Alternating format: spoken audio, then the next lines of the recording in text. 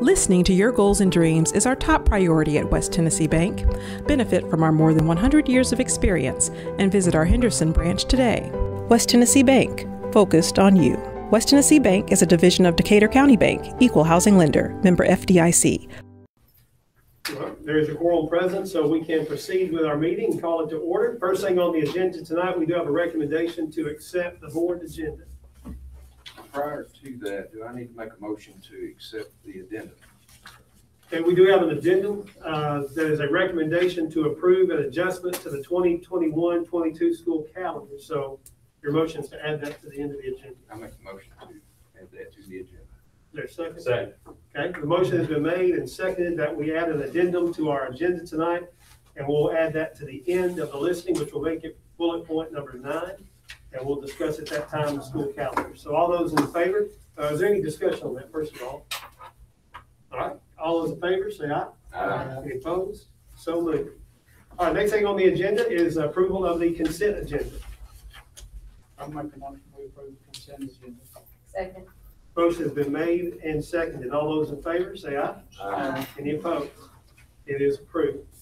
Uh, We have delegations, but I don't believe we have any delegations present here tonight to address the board, so we will move on to uh, celebrations and recognitions, and we do have uh, some good celebrations tonight and uh, some of our CTE programs and other things. So Troy, I'll let you introduce our our guests tonight.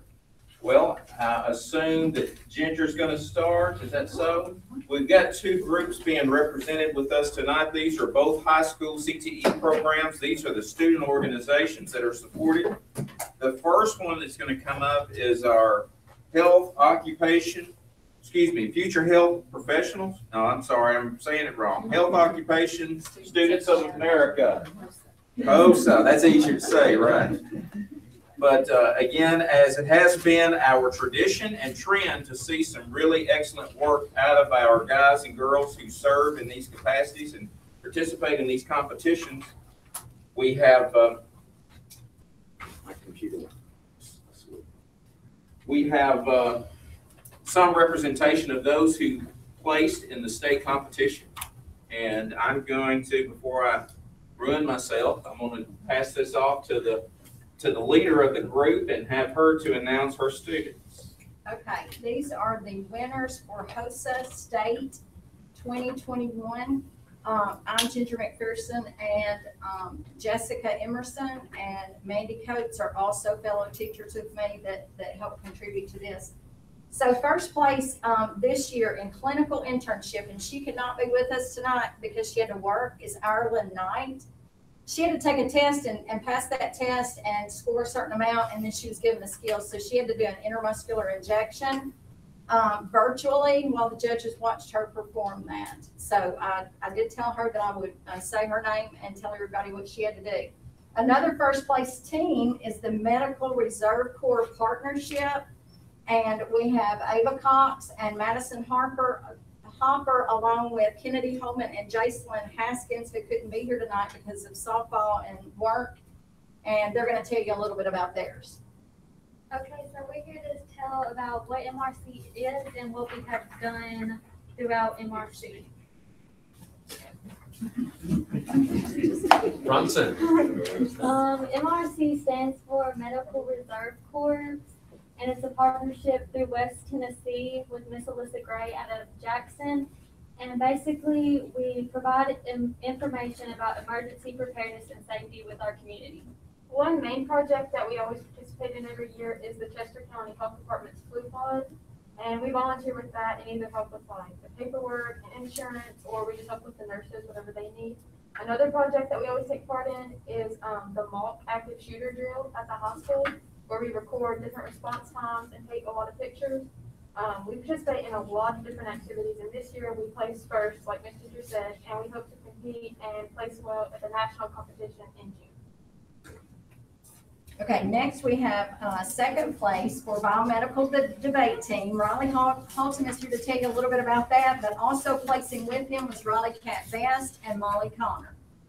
So Raleigh Cat and Molly were both very excited about this, but uh, they kind of got roped into it all last minute, and I actually did it last year, so I was kind of the one to help them kind of figure out what to do with this, and it's a big, it's a new experience if you if you've never done it before. And this year was even a little bit new for me since we had to do everything over Zoom. So we uh, logged on to a Zoom call with one other school and their team, and uh, we had the judges in the room also. So they were in the background, kind of just taking their notes. You could see them every once in a while do a little hmm, and you know.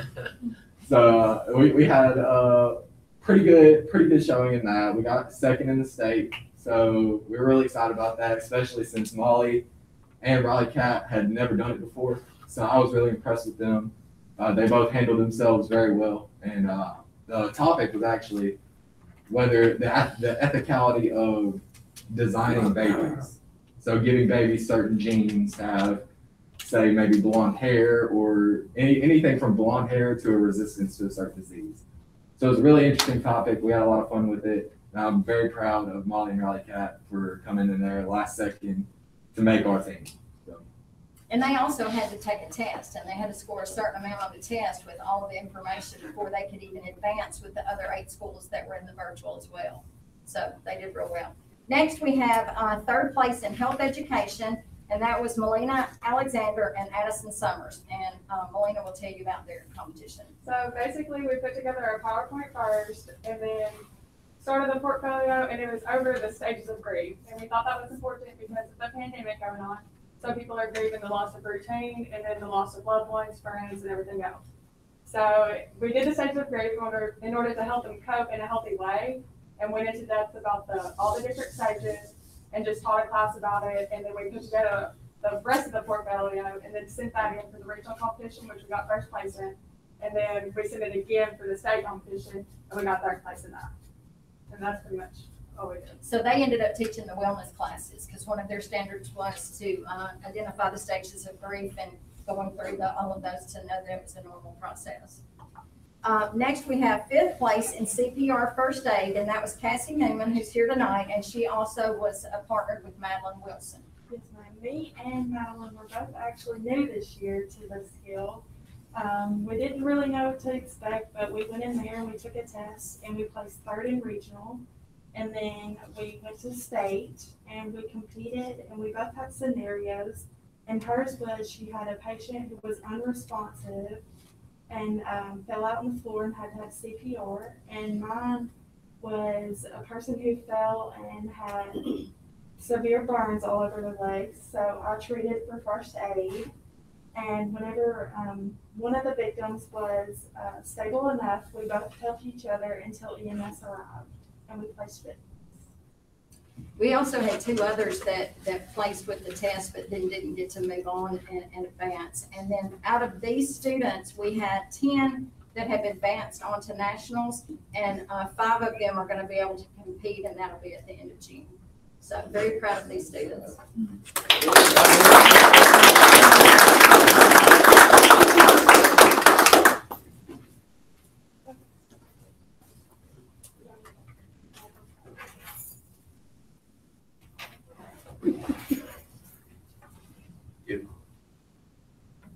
Okay, our next group coming up is, uh, again, Coach DJ Sheets.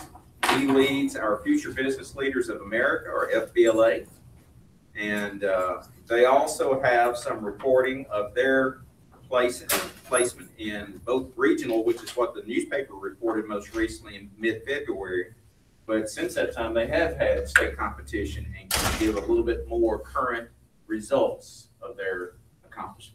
Yes, so the two you have in front of you, this is on the far side, this is Carolyn Rogers. Um, this is Miss Allie's daughter, just FYI.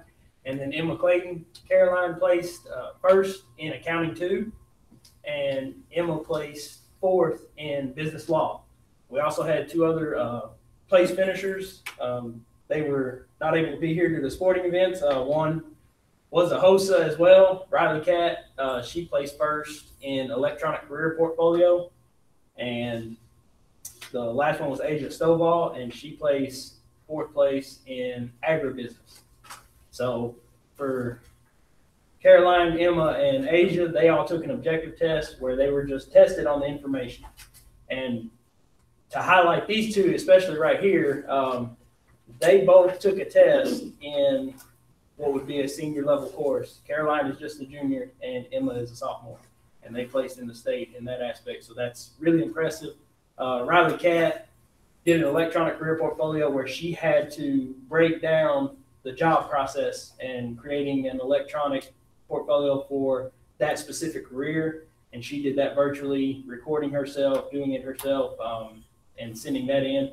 And so she, you know, put a lot of effort into that and actually scored really, really high compared to everybody else in the state. So that was that's a, a big plus for us. And this is the third year in a row we've had students qualify for nationals. And of course, this is only my second year here. And this makes a total of seven students that we've had qualify for nationals since I've been here. So. Thank y'all.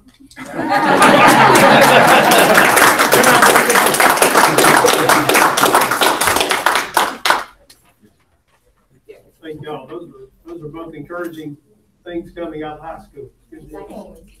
Uh, we want to recognize too, uh, this came in later in the, in the month, but two of our Chester County educators uh, who, who earned regional finalists for the Tennessee Department of Education Teacher of the Year. You want to speak to that? Yes, we, we were uh, pleasantly surprised with the results. Thomas can probably add some more narrative to this because Thomas has really been, uh, uh, he initialized or initiated the effort and made sure that the applications that the teachers who were selected from their peers at the schools uh, completed all their paperwork to be for the submission.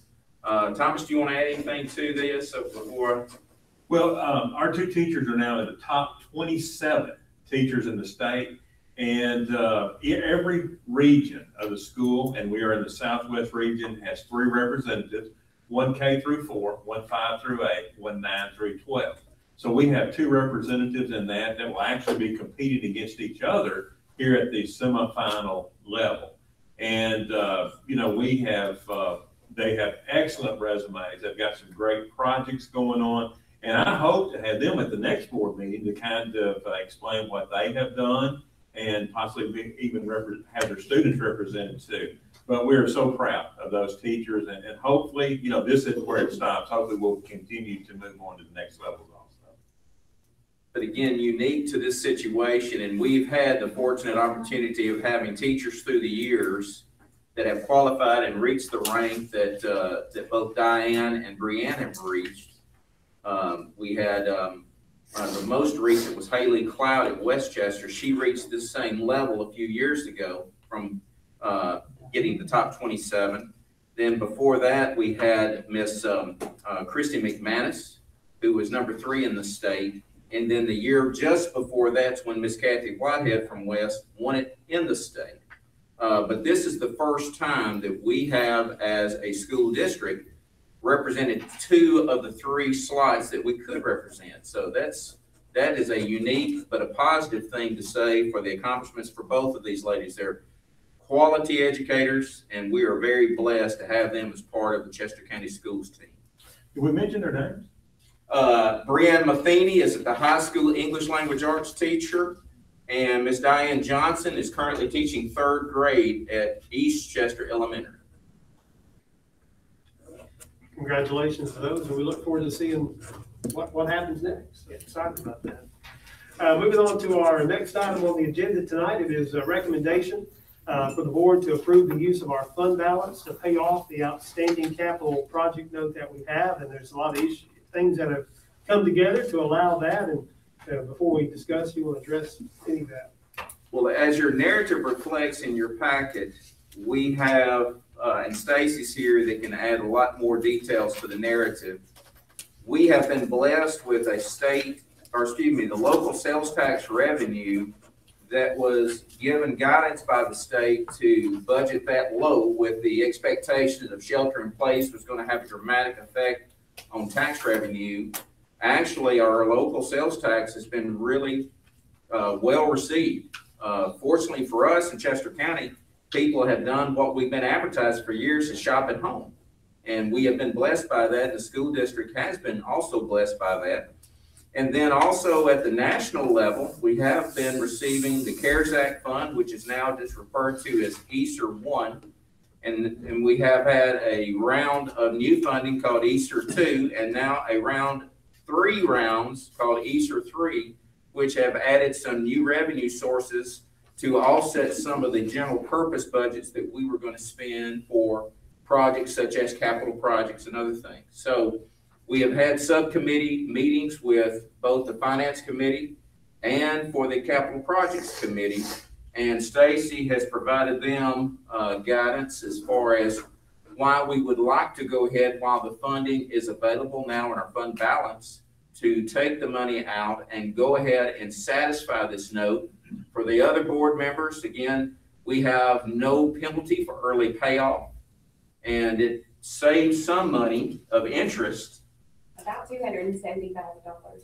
so, um, while the money is available and with the fact that other funding sources have been coming in a little bit richer than expected, that was, that's the purpose of the recommendation. Okay. And that recommendation does come from the finance committee, therefore it requires, uh, no second. But is there any discussion? Does anybody have any questions for Stacy or about, about this?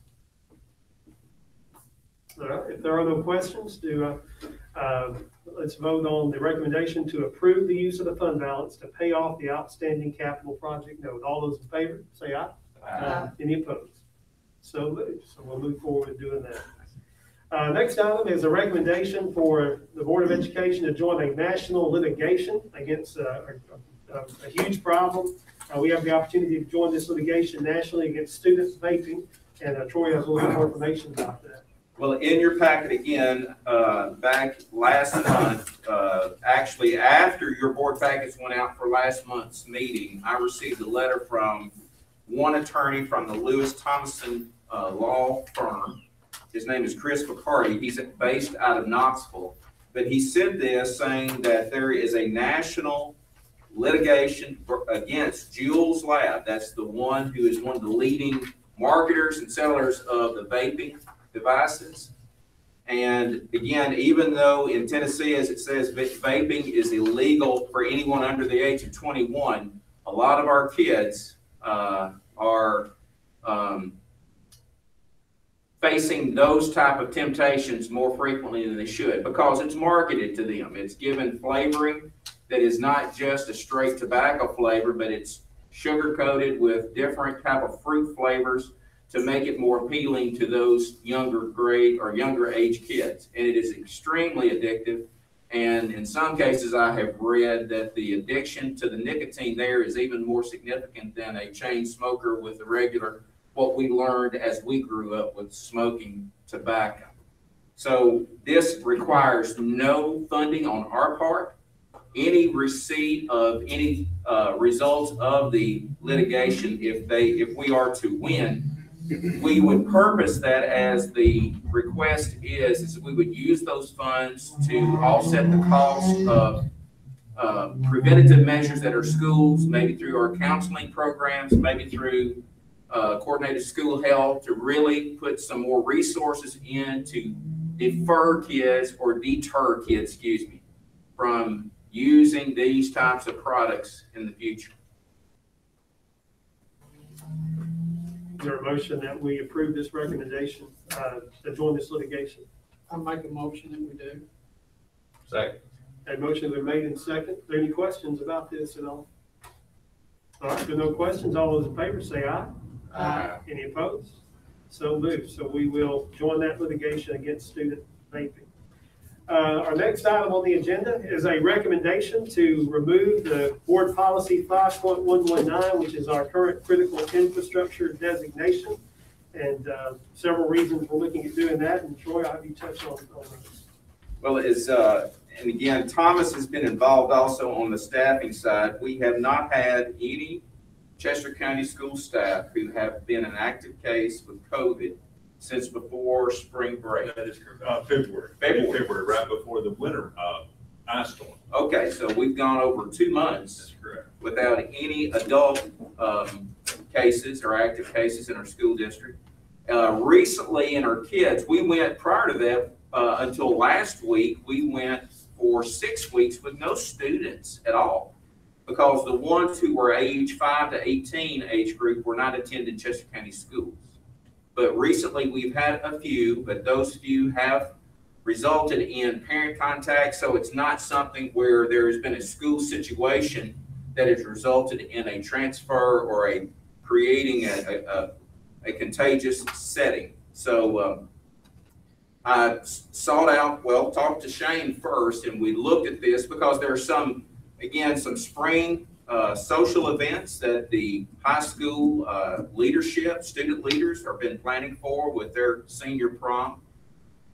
We've been working in deliberation with Freed-Hardeman. I say we, uh, high school staff more than I have, working with them to set up for commencement um, and to remove some of those hurdles that our critical infrastructure designation requires, which says in that 5.119 that there can be no social or no school-sponsored events outside of what's sanctioned through TSSAA.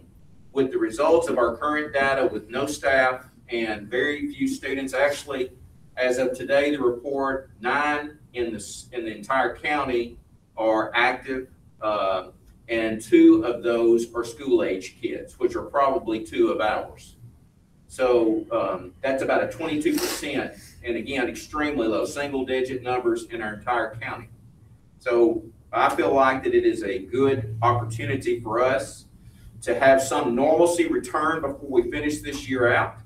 So that is my recommendation to uh, rescind the five point one one nine and go back to what we had previously, which was five point four oh oh. Both of those uh, policies have been included in your packet, so you can see what type of reflection would occur if we do have active cases, if you, as a board, decide to follow through with my recommendation. Is there any question or comments about that, about how that would affect us? Yes, sir, I do. Okay. Um, I suppose we, we have to maintain the preventative measures that are listed within the policy to, to remain a critical infrastructure, maintain that designation. If we, if we tried to amend any of those, we would lose that designation anyway, right? Yes, and, and I will say this, I, I meant to say it already. I did talk to Emily Rushing, who's our regional director, told her what we were thinking about given our current numbers. Uh, and really just opened the floor up to her. Do you have any opposition to this? She knows our numbers as well as I do because she's the one that receive all the contact tracing that happens within the school districts, again, in her region that she supports. I also talked to our board attorney about this, just to make sure that we weren't doing anything in violation of what we could do, given our current numbers. But uh, both of those were very, were, were supportive. I don't say very supportive. Our board attorney was very supportive of it. But I don't know if that answers your question, Mark. I probably didn't answer it well. I don't think it did, but I think I understand. Uh, What I'm looking at is if we just want to, could we just modify, and I'm not opposed to rescinding it, but I'm just thinking out loud here. Could we not modify the policy and keep some aspect of it? Well, we are planning to follow the Tennessee Promise, which is still, do you want to talk to that, Well, Thomas? yeah, I, I can address that. Basically, when we put critical infrastructure into place, it was to allow our staff to continue to work if they had been exposed to the virus. And they would do that by testing, you know, having two negative tests during that time. Now, in essence, if we rescind critical infrastructure, we would revert back to the Tennessee Department of Health guidelines. Whereas if you have been exposed to the virus, then you must isolate, you know, for ten days. Uh, also, we have, uh, we have not done away with COVID leave. In the unfortunate event, a staff member does, you know, have to quarantine for any reason, uh, they will still have up to eighty hours, uh, that if they have not used those hours as of yet, and that will go through the end of June. Also, every principal in our district said, we do not want to do away with the mask mandate. We do not want to change the dress code at this particular time. So that will stay in place. And of course, all the procedures about social distancing and things of that nature, because indeed those are Tennessee Department of Health and CDC guidelines. And ourselves more so with the Tennessee Department of Health is uh, kind of where, whose jurisdiction that we're under. But uh, I believe I can answer a little bit better now that I've had a chance to process your question. we don't have the jurisdiction to pick and choose of the critical infrastructure, what we want to maintain or not maintain. So that's the reason why we felt like it would be better served, and that's why I did go to the regional director and get her feedback. She was supportive of it because we are still gonna follow through the same practice that keeps our schools open. We're just now facing the, the situation that if we do have those staff who are, see, it, it doesn't impact any of the kids. The kids do the same thing now than what they would do if you guys do pass this critical infrastructure designation reduction. They would still have to quarantine for ten days, uh, if they're a close contact. But now for our staff, they would have to go into the application of their eighty hours of extra paid sick leave that you guys carried through at the last board meeting through June thirty. So that's the, to, to reduce the critical infrastructure is allowing us to have more of these school-sponsored events outside of what's sanctioned right now by the TSSAA. I understand. They're still gonna be under the same restrictions as far as Correct. social distancing, and Correct. wearing masks. And a lot of this is, is geared toward getting back to normalcy as far as uh, graduation. So what are we looking at there as far as restrictions at that time? Can we Clay, would you mind addressing that question? Come up a little bit closer, because this might be something somebody'd like to hear spoken. We've been in communication with uh, Freed-Hardeman, because that's historically the facilities that we use. Uh, They graduate on that Saturday. Uh, So we've got word from Freed-Hardeman, anything we do before that, before their graduation, they would require that we wear masks uh, during that event. Anything after Saturday, they said it's up to us uh, on what guidelines the school would want to perform. They're not going to enforce any guidelines on us as a, as a, as a university. So that would, that would encompass our uh, baccalaureate on the Sunday night and then our graduation on the following Monday. So basically, uh, any limitations would be up to us to set. Uh, at this time, uh, you know, with the numbers that Mr. Kilzer has, has spoken about, then we, we plan on not enforcing any number of restrictions. Uh, mask is still kind of, we're still waiting to see kind of what, what we need to do there, but we're going to wait closer to the date to do that. But I know our parents are wanting to know where it's going to be, how many people can we invite, and those kind of things. So Freed-Hardeman has, has told us that after their Saturday graduation, that we, that any limitations would be up to us, and all they ask is that we disinfect it following the events, is kind of where we are. Don't leave out anything, is that kind of? And I would say also, before you sit down, Clay, just to confirm that the choice of going back to Loyd was your student. We, we, uh, we talked to our student leadership and their number one option was Loyd without restrictions. And then if that, if we were going to have restrictions, they wanted the field with no restrictions. But the, their number one, our student, uh, senior leaders, uh, requested that Loyd with no restrictions was their number one option for graduation. That was my question. And I apologize, I don't think I worded that question very well, but I'll make a motion that we rescind this, uh, policy five point one one nine. Okay, the motion has been made to rescind and uh, has been seconded. Is there any other questions, any other discussion before we proceed to the vote? Okay, if not, all those in favor of rescinding that policy, say aye. Aye. Any opposed? So the policy is, at this point, is rescinded. Uh, The last item of business on our agenda is our added item at the beginning of the meeting where we have added to the recommendation to adjust the 2021-2022 school year calendar uh, because of some things that have developed since our approval of that calendar. And uh, Troy has- can speak better to that. Okay, um, again, uh, this is just a conversation that really was initiated this week.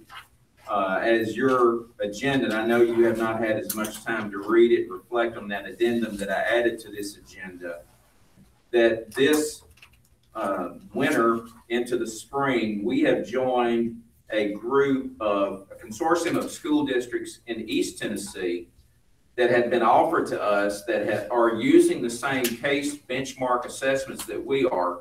And we are sharing resources and knowledge and experience with this group. It's referenced here and the official title, their title or the the consortium is Comprehensive Educational Resources or what we just call the CER group. And what we are doing is, and all of us are doing this, we've joined in and, uh, There is a funding source in East Tennessee called the Niswonger Foundation. It's similar to the Ayers Foundation that is supporting us also this year with um, work that we're doing with the NIET, which is another separate organization. But in this CER group and the Niswonger Foundation, they have got this uh, consortium of school districts together. And what we are doing is we are, again, purposing three assessments through the course of the school year, one in the fall, one at winter, and one in the spring, that give us a formative assessment analysis of where our students are in their current levels of performance with what's being taught. It has been a very useful tool to support teachers and principals and district leaders to have conversations around the results and how can we remedy shortcomings or celebrate successes and share strategies that have led to those successes. Jill Faulkner, Dr. Jill Faulkner has been more uh, taking point on this because she is our district representative with this CER group. And as a side note, some of our own teachers have joined in this consortium to build lessons that are based on the content standards that we're all required by law to teach in the state of Tennessee. So it's it's building a wealth and a, and a, and a repository of well-taught lessons with many districts. Dr. Faulkner attended a session earlier where she got to hear the feedback from a successful district recently with how they were handling their data chats, what we call where the teachers reflect on the results of the students' work and begin to remedy those shortcomings or to celebrate successes. And what that other district identified as one of their sources of, of success was to have a day set aside after each one of those benchmarks where the teachers can have a P, a professional development day where the students are absent, but where the teachers are present and being able to get into the data and have an opportunity to look at it individually look at it in small groups, maybe with grade levels or subject matter, to the point where there is a school-wide plan that is generated through the course of that day. So we were looking at the possibility of aligning our 21-22 school year to coincide. And it would just require a little tweaking with the schedule, and the tweak is seen here on your uh, draft. What it would do would be to add an additional staff development day in the fall and as you see in your calendar draft, that additional day would be following our fall break. Prior to the fall break is when our students take the first benchmark. So the results come in almost immediately after. But we would take our fall break and coming back after the fall break, the students would be out again for an additional day. And that following Monday, which would be October the 18th, that would become a staff development day for the teachers. Staff development day using our stockpile days still counts as part of the 180. So we're not adding any school days to the calendar. All we're doing is just transferring it from being an actual school day with kids present to a school day with kids absent. The January 2nd or January 3rd is the date that we would use which is already on the books and it was already approved by the board previously. And that would take care of our winter or our second assessment. But then for the third assessment, which comes before our spring break, what I'm asking for you, you to, um, to uh, approve is to move the May 20th date from a staff development day which is at the very end of the school year for 21 22, or is the last full day um, present for just the staff, and substitute that May 20th date with a March 28th date instead, which is again, same practice the following Monday after our spring break. Again, what we're wanting to have is an opportunity for our teachers, our principals, to be present, to look at the students' data, to be able to do that without interruption from the school day, rather than having to work out and just have smaller groups meet during planning time because of other commitments with their kids and teaching, to have a really concentrated but but I hope efficient way of, of determining what plan in place to either remedy issues to correct or to be able to know how we can advance or um, promote students to higher grounds of learning uh, in through the year. Again, our case assessments, the last year it was measured, reflect about a 96 to 98% correlation with our state results. So if we can really remedy what we're seeing from our assessments and these formative assessment pieces and really move to higher ground with those kids who are close to being considered proficient and get them over the top, we could see some very dramatic changes in a positive sense in the results as we are compared in the future in state assessments.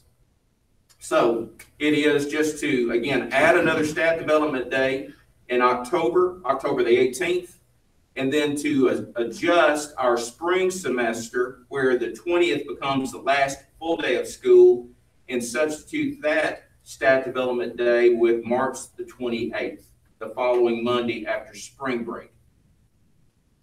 The state only allows us to have three stockpile days used for professional development, so that would be the full quota for this upcoming year. Any questions about that? Okay. I hear a motion, we approve this recommendation to adjust the calendar. I make a motion that We approve the recommendation. Okay. All right, motion's been made and seconded. Any other questions or discussion? All those in favor say aye. Aye. Any opposed? And so moved, it is approved. Uh, final thing on the agenda is just if there are any questions on our updates, such as our capital projects and, uh, other things going on, if anybody on the board have any questions or have anything you want to share? Yep, okay. Any, any questions? Okay, yours? Clay, is vaping or e-cigarettes, is that a major problem? Yes, sir. I give, I, we, we, uh, I dealt with the situation just yesterday where I just, off the cuff, asked a kid, what percentage of our kids do you think in our high school vape right now? He said, way above fifty, closer to seventy. Really? Now, that may have been an exaggeration, but it, it wouldn't surprise, it, it, it's a problem. They're so easily hid. They look like a, I mean, some of them are small, smaller than pencils. I mean, they can put them in their pocket and it's so easy to hide them. Uh, and, and unfortunately, access to get them is, is very easy as well. So bathroom, is that where it takes place? Is that That, that's probably the number one place, but, uh, there is Brazen is doing it out in the open now because there's really, there's no smell to them. So unless you actually are watching a kid do it, they can do it while they're walking down the hall and you would. They do it in the classroom and boy it in their sleep and you would never know it. Do that, and act like they're coughing. It's not a tobacco smell, it's, Smells it's like sometimes it could be a fruit flavor. It's banana ice was yesterday. But, but I see people in a car and it looks like the car is on fire when they breathe out. I mean, is it not, does it not give off Well, smoke? there's, there's different types of them. Uh, some of the smaller ones don't give off as much smoke as, as, as they do, but yes, the bathroom is our number one problem area. But if you stop the bathroom, they just do it somewhere else. Absolutely. It's a problem in general. It is a problem. We have teachers that are very adamant about when they have, a pr- and, and they'll walk into the bathroom just to make a sweep and it's, they'll open the door and there they are.